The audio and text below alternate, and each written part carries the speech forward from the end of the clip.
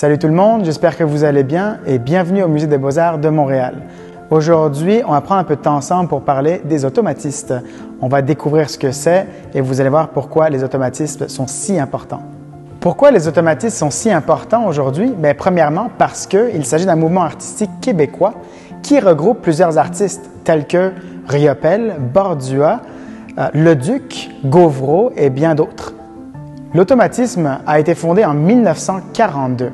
L'automatisme s'inspire en fait d'un mouvement surréaliste. Donc c'est un mouvement artistique et quand on pense au surréalisme, on pourrait penser par exemple à Salvador Dali.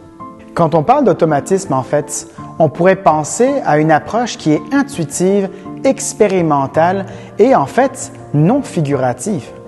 Une approche intuitive, expérimentale. Mais ça veut dire quoi ça au juste? Bien, quand on regarde par exemple une œuvre comme celle-ci, on peut voir vraiment que l'artiste avait essayé de, bien représenter des personnages. On peut voir par exemple euh, une automobile, on peut voir euh, des magasins. Donc on arrive à voir et constater comme quoi qu'il y avait une intention derrière le geste artistique que Adrien Hébert nous présentait. Je t'inviterai à aller faire tes recherches et aller voir des œuvres des automatistes. Pourquoi? C'est parce que tu verras qu'elles sont tellement différentes des œuvres que celle-ci, par exemple.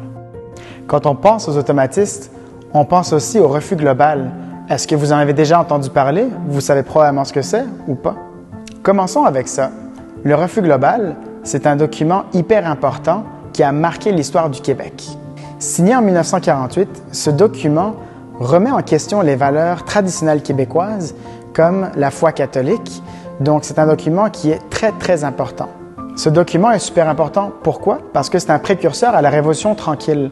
Vous en avez sans doute déjà entendu parler, n'est-ce pas? Il favorise aussi une ouverture à une pensée universelle. Donc, quelles sont les trois choses à retenir quand on parle des automatistes? On parle du refus global premièrement, on parle aussi d'un mouvement artistique québécois et on parle d'une approche intuitive expérientielle.